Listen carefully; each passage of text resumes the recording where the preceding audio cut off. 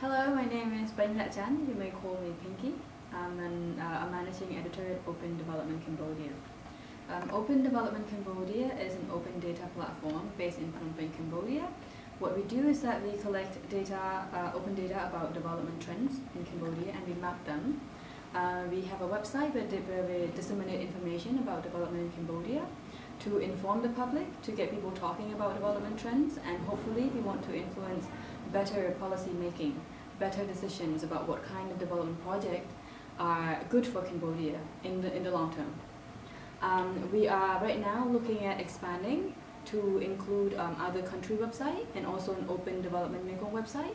We are doing this because a lot of issues that's happening in Cambodia, and they could be social environmental issues, um, these issues are transboundary issues. For example, with um, water access, with um, um uh, the quality and quantities of water, um, the livelihoods of uh, peoples and farmers and fishery groups, um, because we are connected by this Mekong River. And that's why we need to team up, to collaborate, to uh, make this effort a reality.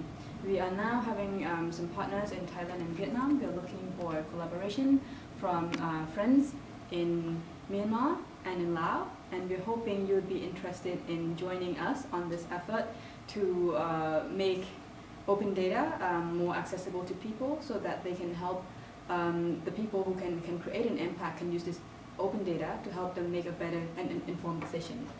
Um, it is very interesting to be working on, on open data right now because um, the community is growing. The open community in Cambodia, the open data community in Cambodia is growing. Uh, the open source community in Cambodia uh, has been there longer than open data, but now we're looking to bridge the two, the open data and the open sources. Because we need each other, um, you know, on the technical support and on, on the um, issues and research support. And we need to work together if we want to have a more sustainable and a scalable and also a more interoperable platform. Um, this is a very, very good opportunity and I hope you would be interested in, in, in uh, working with us.